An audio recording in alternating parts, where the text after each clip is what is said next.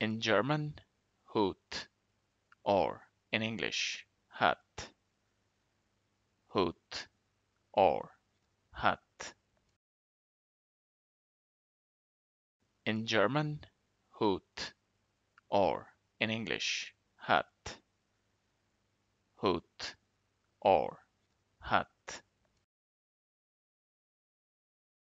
In German, Hut, or in English, hat. Hut, or.